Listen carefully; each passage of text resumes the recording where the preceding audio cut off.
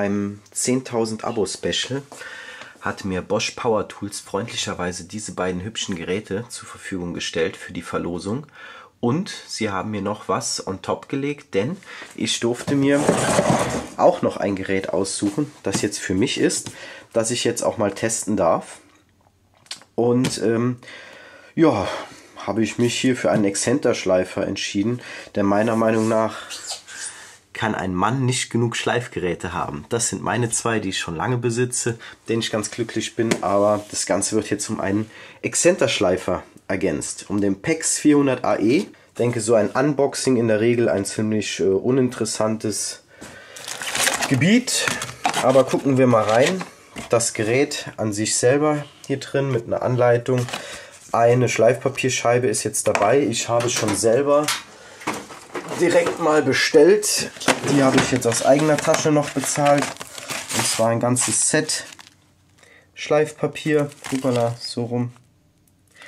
Dann noch äh, diverse Polier- und Schleifaufsätze. Weil dann kann ich das Ganze auch mal an meinem Oldtimer testen. Da kann man noch ein bisschen was aufpolieren oder an Longboards unten. Wenn ich mit Epoxy arbeite und dem Carbon, da kann man die ganze Sache ein bisschen aufpolieren. Kommen wir zum Gerät selber.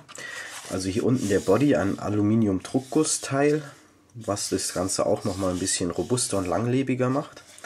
Was mir jetzt auch schon gut gefallen hat, ist der integrierte äh, Mikrofilter hier. Da gab es mal, ähm, habe ich schon gelesen, in einem äh, Amazon-Rezession hieß es, der wäre nicht dicht. Aber mit diesem Dichtgummi und der sitzt echt stramm da drauf. Also ich bin gespannt. Ich denke schon, dass der dicht ist, aber das werden wir dann später sehen. Dieser Filter.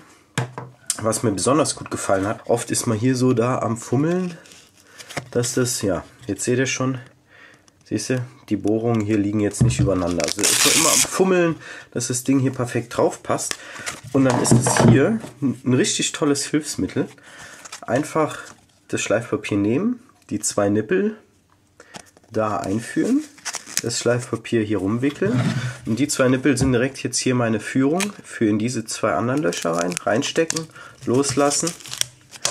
Und das Schleifpapier klebt perfekt da drauf. Mittig, die Bohrungen zum Absaugen, deckungsgleich. Also kleines Teil, große Wirkung. Finde ich gut. Das Ganze testen wir hier an so einem Schneidbrett. Die habe ich mal vor ein paar Jahren geschenkt bekommen. Eigentlich sehr hochwertige Bretter, aber ich bin sehr enttäuscht. Ihr seht, hier ist schon komplett die Lackierung runter. Also überhaupt nicht mehr schön. Das schleifen wir jetzt plan. Und danach wird das Ganze mit Leinfirnis behandelt.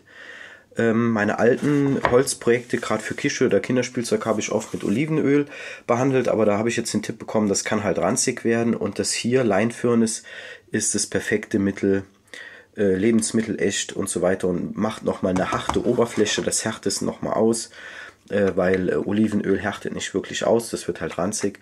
Und da sind wir mal gespannt, wie das Brett nach dieser Behandlung aussehen wird. Das Ganze bauen wir jetzt wieder mit meinem selbstgebauten, perfekten Spannsystem für die Werkbank. Da habe ich ja auch ein Video.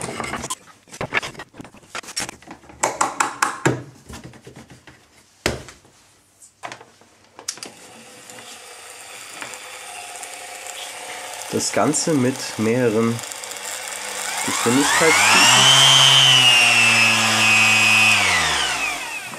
Machen wir erst nochmal den Filter drauf.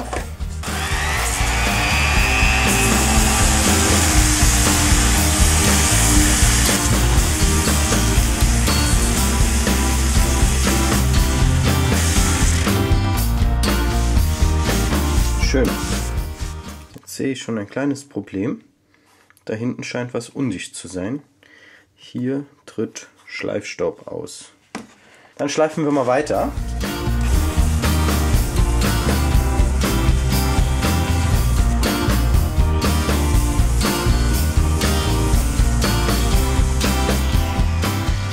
Die Abtragsleistung fand ich echt wunderbar. Eine schöne glatte Oberfläche, selbst mit 80er Schleifpapier. Die Qualität des Schleifpapiers auch wunderbar, nicht zugesetzt. Ähm, ja, ich habe die Drehzahl ähm, ziemlich unten gehalten, so dass auch nichts ähm, von ähm, der Lasur vorher hier ähm, zu heiß wird, hier so quasi so fest wird, einbrennt. Ja, natürlich sieht man, wo gehobelt wird, fallen Späne. Hier ist überall viel Schleifstaub, was aber normal ist erstmal.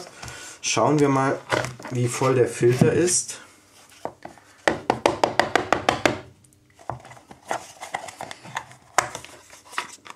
Wow. Wow. Schaut euch das mal an.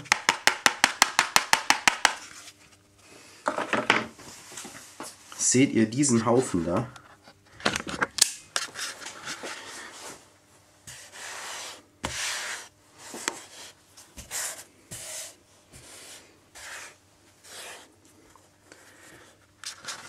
Sieht man das?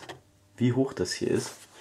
Also, anfangs hatte ich ja ein bisschen gemeckert, denn hier hinten war irgendwas nicht ganz dicht, aber man sieht, das wurde, der Filter wurde hier richtig eingeklebt mit Heißkleber, um es dicht zu bekommen. Aber irgendwie kam hier hinten ein bisschen Staub raus. Das fand ich anfangs nicht so doll. Aber wenn man jetzt betrachtet, was dieser kleine Filter hier an Staub aufgenommen hat und dass dieser feine Staub alles jetzt in meiner Lunge sein könnte, das ist Wahnsinn. Also man muss immer betrachten, dass hier ist natürlich ein kleines Filtersystem, was auch nur durch die Motorleistung hier mit, ähm, mit dem Lüfterrad quasi nach hier außen getragen wird. Selbst hier hängt noch richtig viel drin. Ähm, das ist natürlich nicht zu vergleichen mit einer richtigen Absauganlage oder einem Staubsauger, den man anschließt. Aber für für jetzt dieses kleine Filtersystem ist es hier absolut der Wahnsinn, was der noch auffängt, bevor es hier in die Luft geht und in meine Lunge. Also das hier Wahnsinn. Ich wäre ja nicht Dr. Schnaggels, wenn meine kleine Werkstatt nicht noch ein weiteres Highlight hätte. Und zwar hier hinten einen richtigen Raumluftfilter. Und dieses gute Stück hier saugt in der höchsten Stufe, die es jetzt gerade läuft, 720 Kubikmeter pro Stunde Luft an und filtert die da. Also zusammen mit diesem echt guten Filtersystem hier und meinem Filter da kann der Schnaggels komplett ohne Mundschutz arbeiten. Finde ich schon mal eine geile Sache. Der Filter ist wieder zusammengebaut. Und jetzt werden wir mal dem Ganzen noch ein Mega-Finish geben und mit dem ähm, 240er Papier das Holz bearbeiten und da bin ich dann auch mal gespannt. Kleine Hilfsmittel, wieder perfekt positioniert. Filter drauf und ab geht's. Ich habe jetzt noch ein zweites Schneidbrett gemacht. Größe 45 cm auf 30 habe jetzt mit einer 80er Körnung geschliffen, habe jetzt exakt 5 Minuten an dieser Fläche geschliffen und jetzt wollen wir mal schauen, wie viel Staub dieses kleine Filtersystem jetzt wirklich aufgenommen hat in 5 Minuten auf einer Fläche 45 x 30 cm.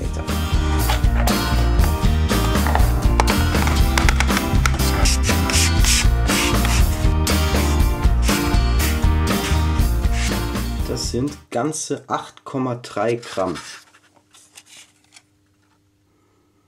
8,3 Gramm Staub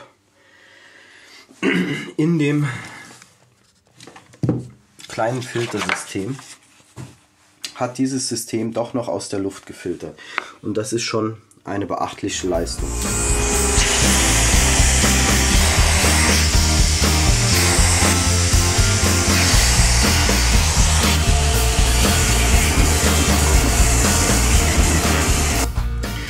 Staubsaugeranschluss wirkt während des Betriebs eigentlich nicht so, als ob er toll halten würde. Aber der hat jetzt gerade eben doch besser gehalten als gedacht. Hier würde ich mir vielleicht eine clevere Idee wünschen, mit dass hier vielleicht noch am Gehäuse ein Griff befestigt werden kann mit einer Art Klemme. Ein Schuh, ein Plastikschuh, eine Klemme, die man am Gehäuse festmachen kann. Oder noch hier Nuten im Alu-Teil mit einer Klemme, die es sich einklemmt. Und das hier sind ja eigentlich auch genormte ähm, Rohre, dass das, das Teil hier eingeklemmt wird und dann hier noch eine Klemmung dran sein wird, dass das Rohr noch mehr gehalten wird. Das fände ich eine richtig geile Sache. Und äh, da können die Jungs in Leinfelden ja noch mal ein bisschen kreativ werden.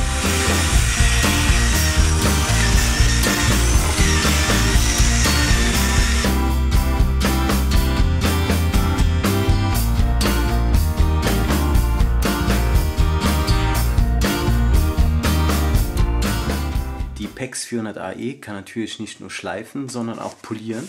Und das wollen wir jetzt mal hier in meinem schönen alten Schätzchen testen. Dafür habe ich mir direkt die drei erhältlichen Polieraufsätze mal dazu gekauft. Gibt es hier drei verschiedene. Einmal zur Veredelung von Metallen. Dann haben wir hier einmal zum Aufbereiten von Lacken und hier einmal zum Einarbeiten von Politur oder Wachs. Und da werde ich mal dieses Hartwachs jetzt mal hier auf meinen kleinen Oldtimer einarbeiten. Wichtig ist dafür eine niedrige Drehzahl einzustellen, damit sich das Ganze auch nicht erwärmt durch die, durch die Reibung. Also stellen wir mal auf 1, gucken wir mal wie es da ist.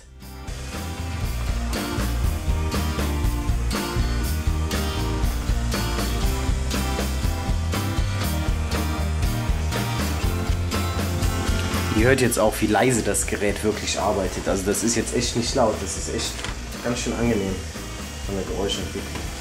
Bin jetzt auf Stufe 2.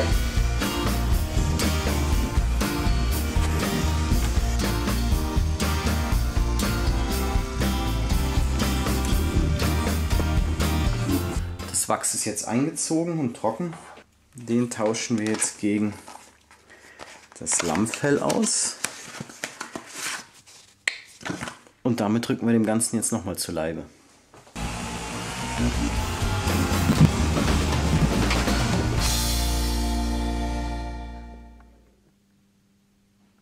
Mein Fazit zum PEX 400 AE. Was soll ich sagen? Ich bin begeistert. Ähm, ich muss ehrlich sagen, und das seht ihr auch in meinen Videos, ich bin ja eher wirklich noch der blaue Fan. Also ich, ich brauche es immer High-End. Liegt wahrscheinlich daran, wie gesagt, bin Maschinenbauingenieur und ich stehe halt einfach auf richtig geiles Werkzeug. Da gebe ich gerne auch einfach Kohle für aus. Aber ich muss sagen, hier, also da hat es die grüne Abteilung richtig gut getroffen. Also allein dieses, das sieht billig aus, kleines Plastik, aber ähm, ich habe in, in, meinem Berufsleben, auch schon im Hobby, mehrfach schon mit Schwingschleifern gearbeitet. Und das Drauffummeln hier ist echt immer ein Krampf. Und dieses kleine Plastikteil macht so easy, echt super. Äh, von der Staubbox auch mega begeistert, was die ja wirklich aufgenommen hat. Anfangs war ich etwas enttäuscht, da war hier ein bisschen undicht, nicht so toll gearbeitet, aber äh, das, das waren Promille. Noch wahrscheinlich nicht mal Prozente, die hier rausgegangen sind durch die Undichtigkeit, wenn man sieht, wie viel Gramm ja wirklich am Ende hier drin gelandet sind und nicht in eurer Lunge.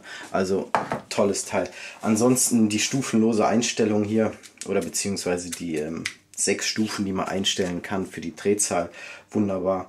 Äh, der kleine Kritikpunkt, ähm, die Staubabsaugung mit dem Staubsauger, ein bisschen fummelig. Da hatte ich ja schon eben meine Idee ähm, kundgetan. Vielleicht wollen die Jungs in der Entwicklungsabteilung da noch mal ein kleines Teil basteln, das den Schlauch ein bisschen besser hält. Aber ansonsten würde ich sagen, grundsolides Gerät. Also da kann man bedenkenlos äh, zugreifen und muss gar nicht zu den teuren Profi-Geräten greifen. Klar gibt es da, äh, das ist so, als, als würde euch jemand fragen, ja, soll ich den, den VW kaufen oder dann doch den Porsche? VW ist ein tolles Auto, nur Porsche ist ein Porsche, ne? Also, aber trotzdem, dieser VW hier, der grüne, fährt wunderbar. Kann ich also einfach uneingeschränkt weiterempfehlen. Finde ich echt ein tolles Gerät. Ich sage nochmal danke Bosch für euer Vertrauen, dass ihr mir hier so ein Testgerät zur Verfügung gestellt habt.